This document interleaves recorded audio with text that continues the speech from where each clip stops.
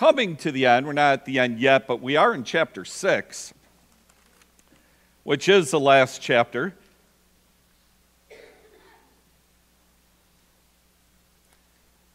And the area that we're going to talk about, and I'll pray in a minute and we'll start the study, but is a, a challenging area. It, it does encourage us to, uh, to think of others, to kind of get our mind off ourselves and, and really see how the Lord would use us in the lives of other people. And sometimes that can be challenging because many of us are just, we're, we're just so consumed and busy with life, or a lot of us have a mound of our own issues and problems. But yet the Lord would still, in those times, uh, stretch us. Or some of us are, we're just tired. You know, we kind of live on tired, and God's like, well, let me be your strength. And so we got to push past a lot of these things. So it's a good, challenging word, and I think very needful for our own personal growth, but the growth of, of God's kingdom and for God's people and for His glory. So we're, we're basically only going to cover five verses, but we're going to jump in other areas to uh, really draw from. So why don't we pray and let God bless this time as we look in the Word today. Heavenly Father, we thank you. We thank you for this day and for the opportunity you give us to look in your word. We pray that your Holy Spirit would teach us, instruct us, and that you would take your word and that you would apply it deep into our hearts. And then you would carry it out through our lives for your glory. But we thank you for allowing us to come together in Jesus' name. Amen. Okay. Um, to start, well, first, uh, everything looked good on the board and everything? Good. Why don't we uh, give you a little background of Galatians, just a brief one, because the Galatian people, they, uh, they were brought into a proper understanding by Paul the Apostle of the grace of God. And as they were brought into this understanding, they rejoiced. Man, this was great. God loves me. God has a plan for me. In spite of who I am, He died for me, took away all the, the sin, and gave me His eternal life. And they were very excited in that. But these people came in, they call them Judaizers, because they tried to convince the Galatians, well, God did open that door, but you got to do a lot of good things and works and all these keeping of the law to, to really get through that door. And then they put a heavy trip on them.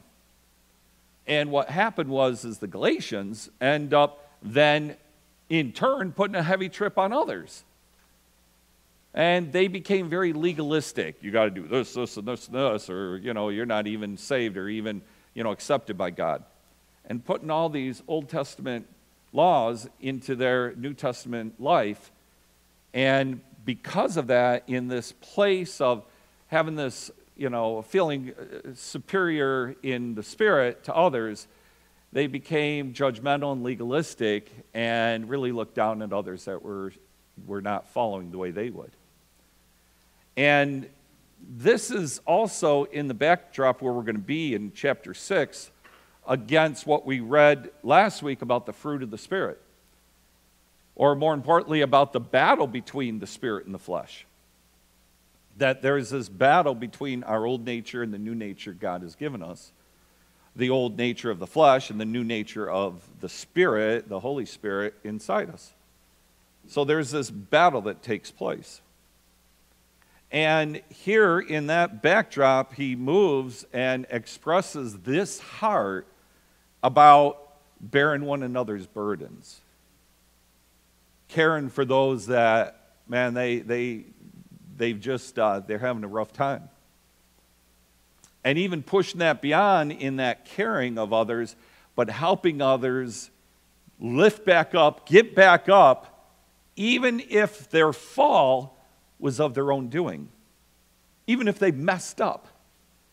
He's encouraging the believers hey, you go help them up. Yeah, but that was their own fault. Doesn't matter. You go lift them up and help them through this tough time, even if it's a tough time they created. So he's encouraging them in this. And so, why don't we jump right in to, uh, to chapter 6? And I'm actually going to read the five verses we're going to cover so we kind of get it in full before we dissect it a little bit. And it begins this way in chapter 6 of Galatians, verse 1. Brethren, if a man be overtaken in a fault, you which are spiritual, restore such a one in the spirit of meekness, considering thyself, lest thou shalt be tempted. Bear you one another's burdens, and so fulfill the law of Christ. For if a man think himself to be something when he is nothing, he deceiveth himself. But let every man prove his own work, and then shall he have rejoicing in himself alone and not in another. For every man shall bear his own burden. And we'll unpack that as we move through. But in the initial beginning of this, as I stated earlier, we know that the Galatians had become self righteous and very legalistic. They probably felt that they would be defiled if they reached out or stooped down to help someone who was even trapped under their own messy situation. They felt, oh, I, I, I, you know, they deserve that, or I don't want to be defiled. I don't want to get in, even involved in their mess. And there is this kind of self righteous attitude about them that had crept in. And so here, the Holy Spirit, through Paul the Apostle, is addressing it to this church. It was obvious from the text that they weren't doing this. That's why they needed to be instructed on this. That they need to be instructed that, man, you got to bear each other's burdens. You got to help your fallen brother or sister. You got to help those that have messed up their life and, and restore them and help them get on the right track that this is what you're called to do. And they thought, well, I don't have to do any of that. I'm kind of holy and pious, and it's their own fault, and they should be doing the things that I do. And he's like, man, get off your high horse and get down there and help the people. You got to give of your, well, I can't be bothered. I got too many other things to do. Well, probably none of them is more important than seeing a lost soul get saved or seeing a fallen brother or sister restored. That probably kind of takes priority. But they, they weren't seeing it that way. And they had to be instructed. Our example of the Lord, man, he had no problem allowing his life to touch sinful man, sinful women.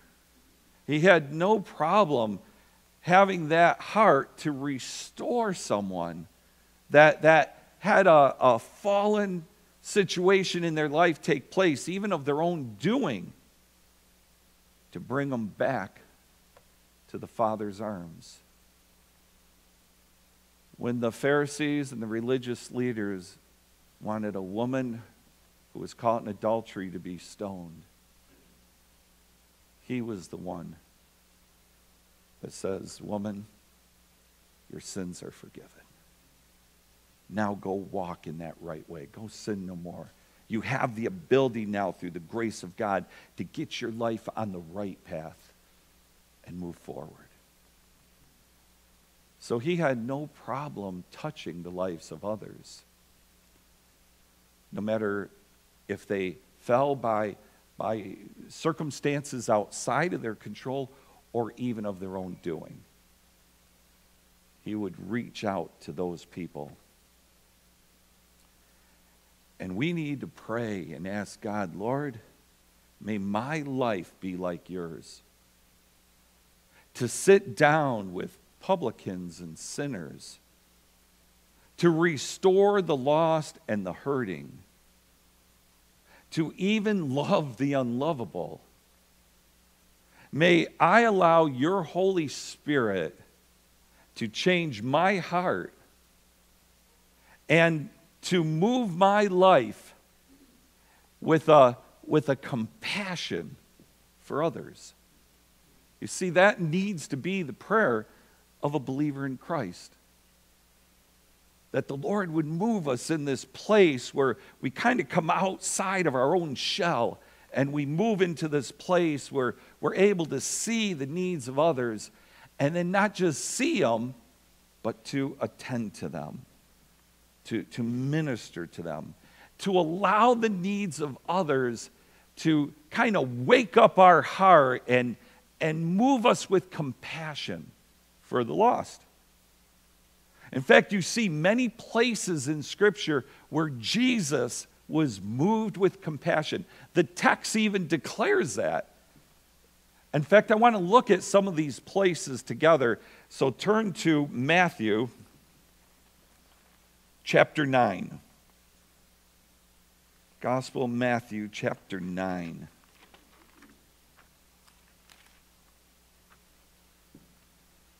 Matthew chapter 9, I just want to read here a verse.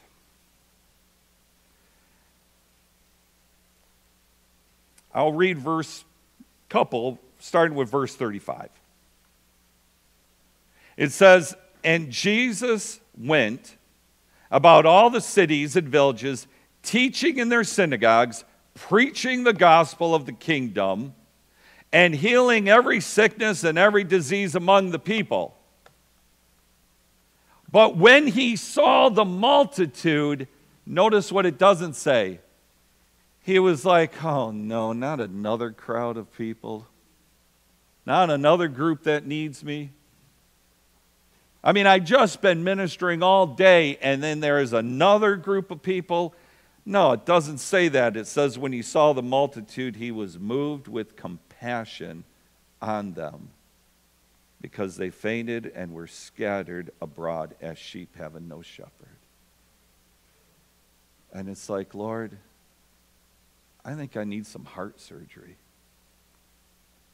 I think you need to cause my heart at those times, especially when I'm just, I'm shot, I'm tired, I've, I'm weary, but there's a need, and I close my heart to the need, close my eyes to it to say, Lord, soften my heart that it will be moved with compassion to do the things that you would have me to do.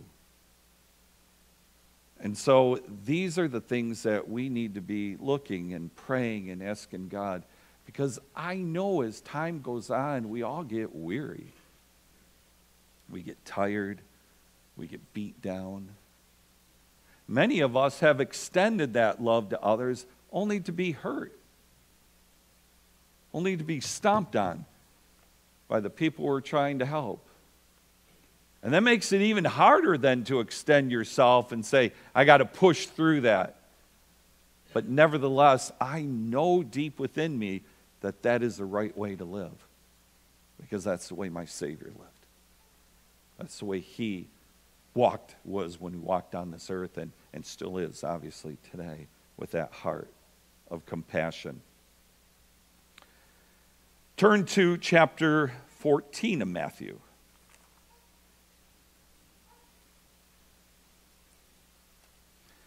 In chapter 14, let's look at this starting in verse 9.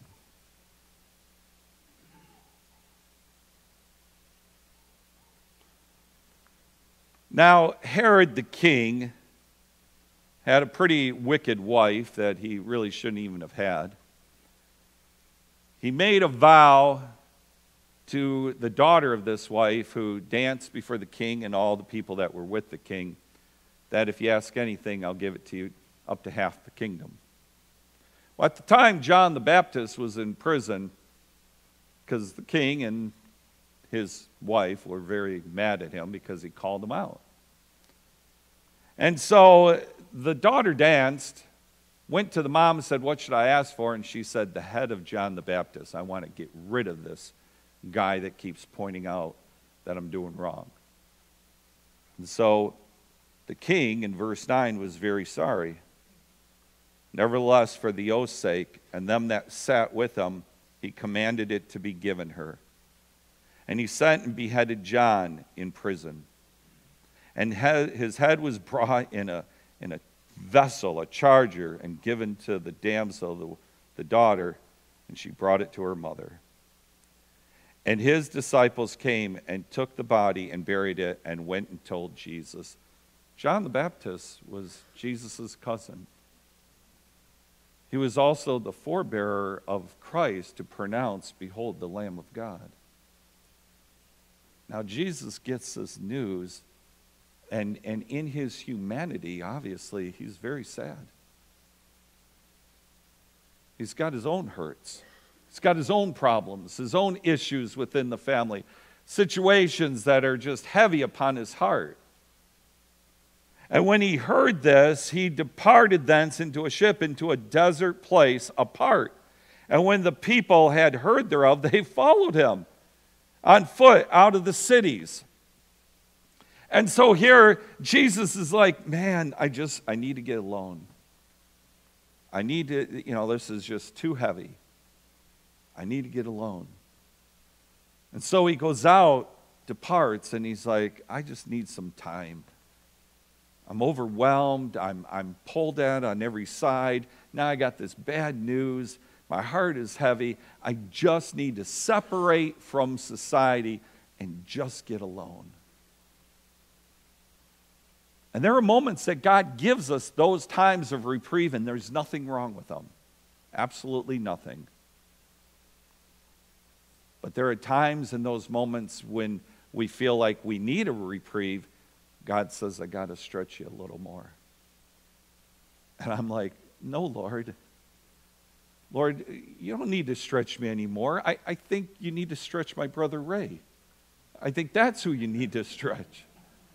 And the Lord's like, um, No, I think I got the right address, Kirk.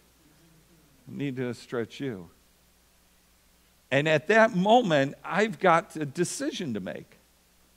And so, here, when this happened with Jesus, he departed in this place. In verse 14, and Jesus went forth and saw a great multitude, and what was moved with compassion toward them, and he healed their sick. And he continued to minister. And when it was evening, his disciples came, saying, this is a desert place. Time is past. Send the multitude away. Haven't you had enough? And they said, Send the multitude away, that they may go into the village and buy themselves victuals, food. And Jesus said unto them, They need not depart, give them to eat. And then he said to them that were there, Bring whatever you have. And they had very little, not enough to feed them, not enough to even make a dent. And there are times that I look at my life and I think, I don't have enough to even make a dent. I don't have enough within me. But they gave it to the Lord, and He blessed it, and He multiplied it. And it's in those times I need to say, Lord, I have nothing left. I am spent. But obviously, you brought a need at my door. May you multiply the little there, and if there's nothing, may you infuse me with you so that there is something there that I may give. And the people ate and were blessed, and there were plenty left over. It's really trusting God to take care of us in those moments and being obedient to what He calls us to do. Now, sometimes it's easier. I, you know, for me, it's like I know I just got to push through this. I got to go. I got to do what I, I should do. But I got to be honest, there are times that it's hard. A couple of those times I remember was right in the middle of a Buffalo Bills game. And I get a phone call. And I think, why aren't they watching the Bills game? Don't they realize that I'm watching the Bills game? I have nothing left to give. I gave everything Sunday morning, and this is Sunday afternoon, and, and we're, we're going down ready to score. And the Lord's like, that's why I picked this time, Kirk. I picked it to, to allow you to just die to yourself. And I thought, you know, I think I'm going to have a recording next time. That when they call, all of a sudden they hear, hello, this is Kirk. Hey, before you even talk, I think it's important that I just lead you in a prayer for about an hour. And I think you'll be better off if I just pray about an hour for you. So just listen, be patient, and have that as my recording, yeah? And the Lord just wouldn't allow it. And you got to just say, okay, Lord, push me past this moment, push me past it. And He does, and He fills you. And when it's all said and done, there's a whole lot left over for you to eat of a whole lot of his strength left over for you. And so this is kind of what we're learning in Galatians here is that this is what we're called to do and we have an example of Jesus Christ. And he was moved with compassion. Just uh, in, in thought, just for reference, you can look up Matthew 29 or 15 verses 29 to like 32. And there, Jesus also again was moved with compassion. After he already ministered, he's like, Yeah, but they still need more of my compassion to feed them. And so he ministered to them. But turn to Luke chapter 10. Luke chapter 10.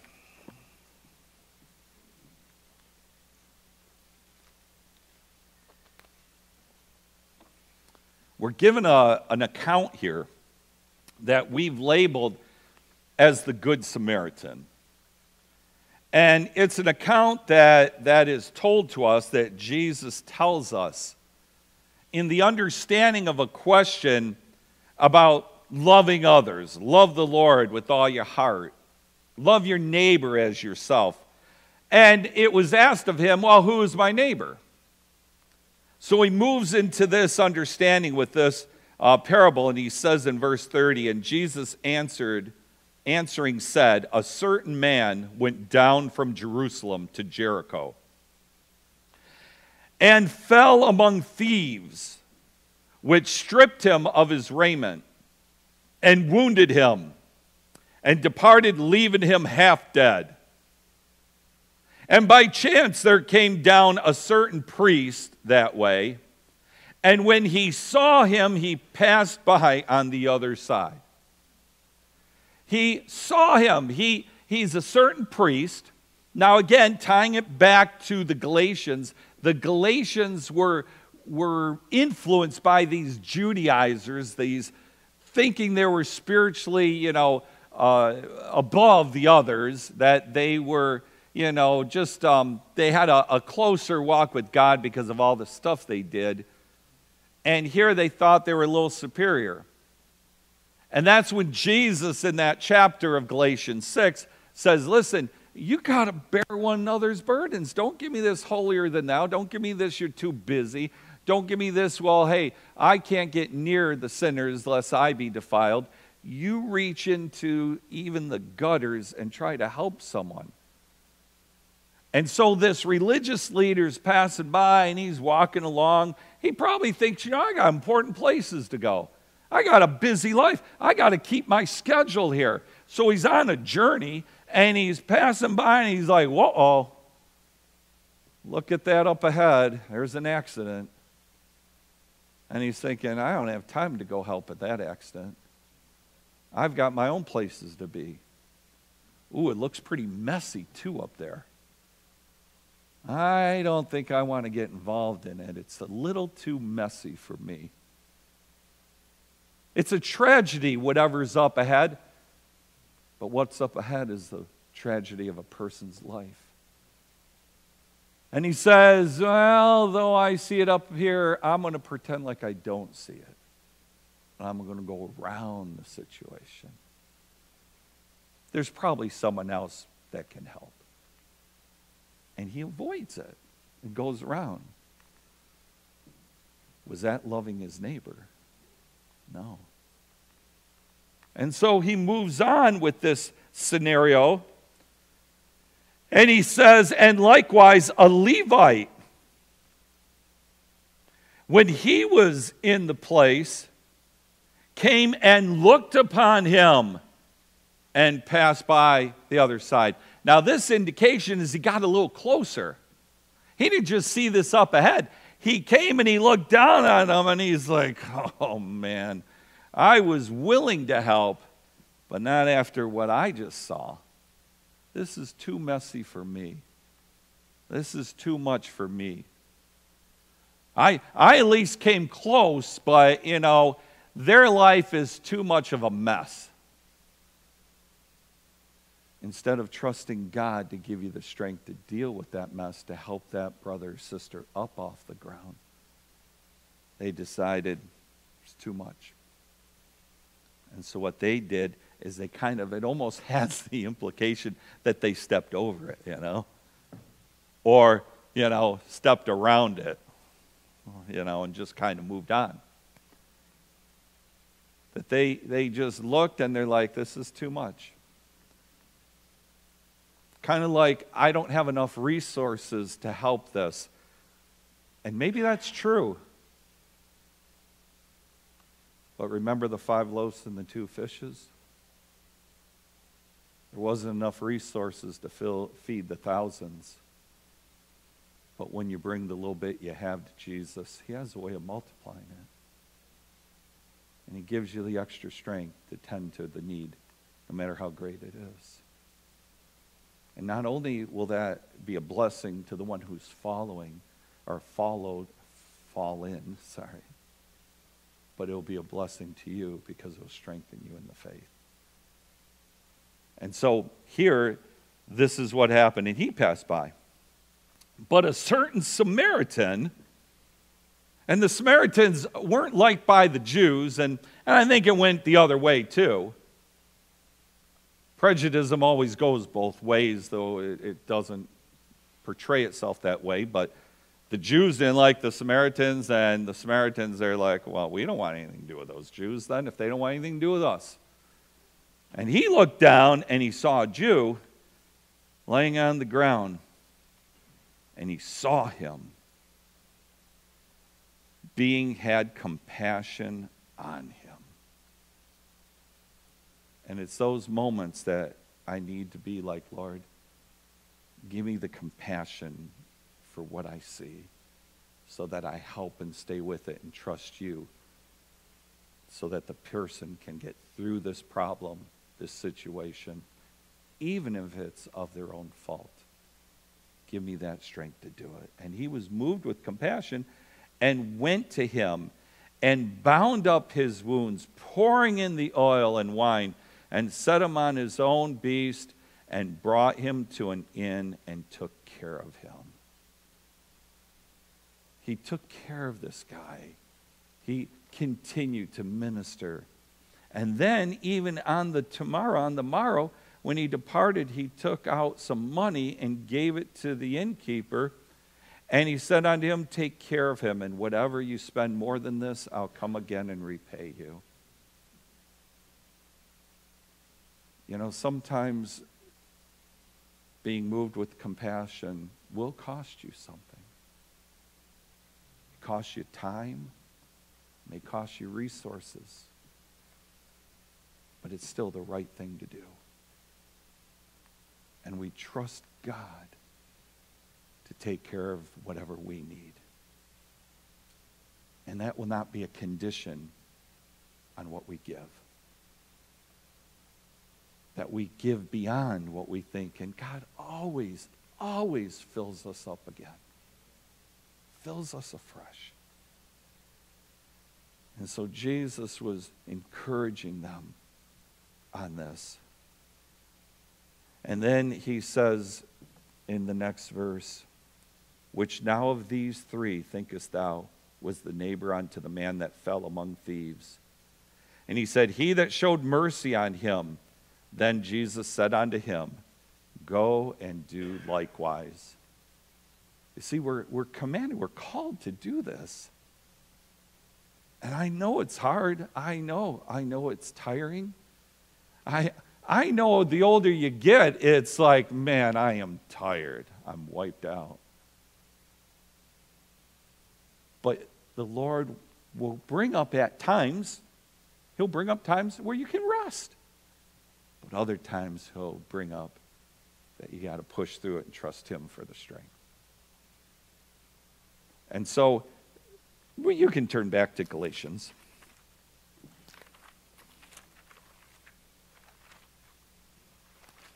So, in seeing that example, we again read, Brethren, in verse 1 if a man be overtaken in a fault, you which are spiritual, restore such a one in the spirit of meekness, considering thyself, lest thou be tempted. A, a couple thoughts in that. One is that you who are spiritual, it says. I think one of the key things that, that helps all of us is that very understanding is that, Lord, help me to be a spiritual man. Help you to be a spiritual woman. Lord, may I take the time in my life to grow in the faith, to take the time in my devotions, to take the time reading the Word of God, praying to you, worshiping you, and then allowing my life to be stretched at moments to serve you so that when a situation falls in my lap or is in the path of my walk or right out in front of me, that I can be a spiritual man to walk and to surrender to you and help fulfill what you would have me to do. So the prep work is to be a spiritual man or woman. The prep work is what you do before those times hit sitting with the Lord, worshiping, praying, reading God's word, fellowshipping among believers, finding opportunities to serve so that you are strengthened when those times come. And also, the implication is a couple, twofold. One, that with meekness you will arrive at the situation and take care of it. You won't, you won't be full of pride where you can't deal with it. But more importantly, in the text, the understanding is so that when you come to the situation, that you're very careful about it and have discernment so that you don't trip up over the thing that that brother or sister tripped up on. That you don't fall into the same category of sin. I'll give you a, a very real example there was a situation with a couple, and the woman had committed adultery. The woman wanted to be restored. And I knew that there are too many men that have fallen in those situations. And their heart had become bitter, hard in their own life, and then compassionate toward this other, and then finding themselves falling a well into the same sin as well. And those are things you got to have the Spirit to say, don't meet alone. Don't have these times. Make sure others are present. I had a situation where someone wanted, a woman wanted to meet me, you know, in Rochester. Had a real lot of problems. Oh, if you could just stop by. And I'm thinking, uh uh-uh. uh Not that I'm saying she had anything going on that she thought, or me. I just knew, I know the enemy. I called up a church up there. I said, Do you have a room somewhere that's open that you guys will be there that I can meet because this woman needs counsel, but I want others right around the whole situation, you know, because Kathy, usually I take Kathy. You know, that's kind of my always go to. But in this situation, it, it didn't give itself to that. And they're like, I understand, Kirk, we'll make sure. And I met in an open area with other brothers and sisters, all right there walking by and making sure to be able to minister. So you need to be spiritually in tune and strengthened when you deal with these situations. And so it moves on, and it says, Bear you one another's burdens and do fulfill the law of Christ. I mean, that's pretty powerful. What is the law of Christ? Well, it's basically what we read love the Lord thy God with all thy heart, mind, soul, and strength, and love your neighbor as yourself. You know, because when I'm fallen, I really would like someone to lift me up. And do unto others as you would have them do unto you. And I want to be a brother that comes and lifts someone else up when they fall. And so it's to fulfill the law of Christ. Let every man prove his own work, and then he shall have rejoicing in himself alone and not in another. Now, this, what, what I, as I dug it out, what it means is that let you, every man, do his own work. You know, basically, I got to continue to grow in my faith be more holy like the Lord, walk in ways that are right and righteous before God, that I'm growing in my relationship with the Lord, in my Christian behavior, so that I don't have to depend on others in this way, where I feel good about myself because those that I point out are worse than me. Where I'm one that would point out the faults of others only to make myself feel a little better. Well, at least I don't do those things. And he says, Don't, that's not the way you do things. You, you don't want to do it that way. What you want to do is you want to have your own life be good enough that is not dependent on the mistakes and the falls of others. Example Jesus talked about two men that were praying. And one religious, high and mighty said, I thank God I'm not like that sinner. And then the, the measure that he put upon his life is, I'm better than him. Instead of, I'm more like the Lord. Now, that sinner was just honest and said, Lord, I'm a sinner. I don't deserve anything. Forgive me. And the Lord forgave him. He said, Which one walked away justified in his prayers? The guy that admitted he was, he was needing the Lord. So here we're encouraged. Let us grow. Let us be spiritual. Let us do acts of these kindness. Let us trust God in it and not be dependent on others either to boast us up or boost us up by saying, Oh, don't worry what others are saying. You're doing good. I'd rather be like, Why are they saying that, Lord? maybe there's some truth there, and maybe there's some areas that I need to grow in. Or don't be of the type that says, oh, look at that person. Look how, I can't believe they say they're a Christian, and look what they're doing.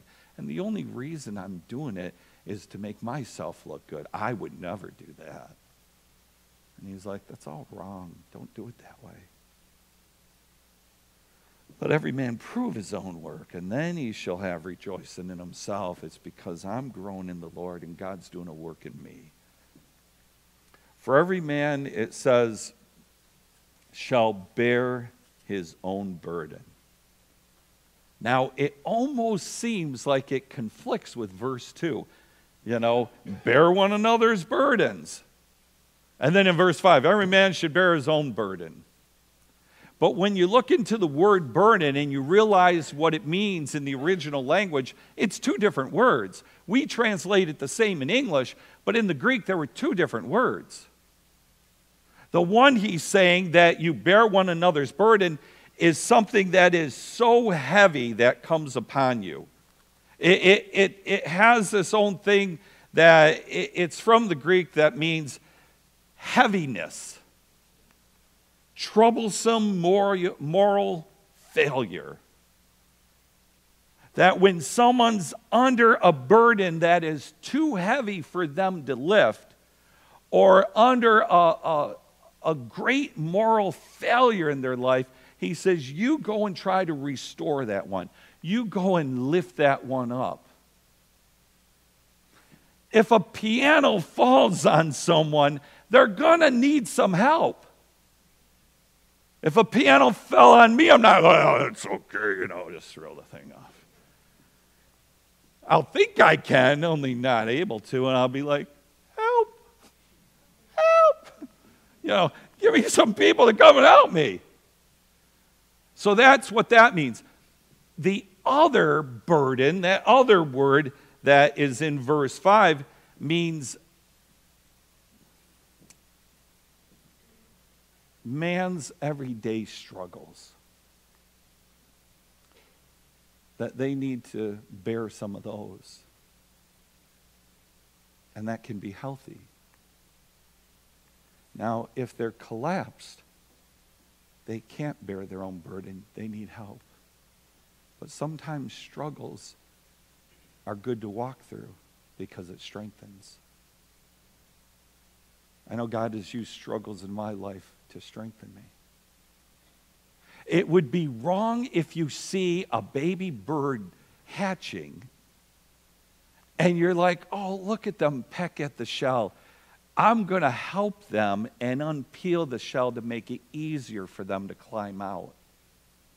You'll probably kill that baby bird. They needed the struggle to strengthen them for life. But if that bird has no strength to start, then maybe I can start the process and let them finish it. I'll give you another example that, that I've done several times is that I'll be at the gym and people ask me, hey, Kirk, can you spot me? And I'm like, okay. So they'll be doing bench pressing, and to spot means I come behind, make sure the bar doesn't collapse on their head or on their neck, you know, if it's too much for them. So I come behind them and I hold the bar. But they're doing the work. I'm just there in case. And it goes down, they bring it up, and they go down, bring it up. And there are moments that I do step in on some of their last reps you know, and they're like, and I'm like, and I help them a little because to get that last bit out of them, and then I'll say, let's do one more. And they're like, oh, you know, but I'm here to help you. But how strong would they get if they laid down on the bench, put their hands on the bar, and I'm doing this all the time? Boy, I lifted 315 pounds the other day, and I did three sets of 10. And I'm like, no, you didn't. I did. You know, I'm exhausted. I wouldn't help them at all. That's the difference in the verses. Is when some is under a burden that they absolutely can't get under, you step in. I don't care how messy, I don't care if it's their fault, it doesn't matter. Restore that person. But you don't want to just coddle the person and never let them have a, cha- a challenge or you end up what we see in our society snowflakes, you know, as they call them. We see people that can't handle anything, and that's not good for their life either. So that's, there's that moderation, man. You can't get up, I'm going to help you up. You're, you're in a struggle, I'll still help you, but I'll be that support person, you know. I'll come and be the support and have you do some of the footwork and navigate so you learn and able to function and, and really succeed in life. So that's the difference between verses 2 and 5. But in all of it, we're called, Lord, to ask the Lord, Lord, give us more compassion. Move me out of myself. May I be a spiritual man that is not so invested in my problems that I can invest in someone else's and help them along. And I can tell you this the best therapy for your life sometimes, this sometimes is true, the best therapy for your life and your problems is to help someone else. And it moves you out of that place of despair and dis- depression and moves you into a purpose and a focus. And in all of that, we say, Lord, multiply what's left in me and he multiplies it and he strengthens you for his work. It's a, it's a real needed thing in the days we're living in. And God will strengthen you to do it. I'm going to stop there and we'll pick it up next week. So why don't we pray? Heavenly Father, we thank you for giving us some time in your word. We thank you for the opportunities that you lay in our path to help others. And I thank you, Lord, for the opportunities you give others to help me. May we function in that proper way. Lord, I'm reminded of how that, that word that encourages us to bear one another's burdens, that understanding is to repair or to rend, kind of like to fix the hole in a broken net for the fishermen because it's going to help the catch and fish are not going to slip through it. You've encouraged us that this, if we give of ourselves, will actually benefit and bless and increase your kingdom.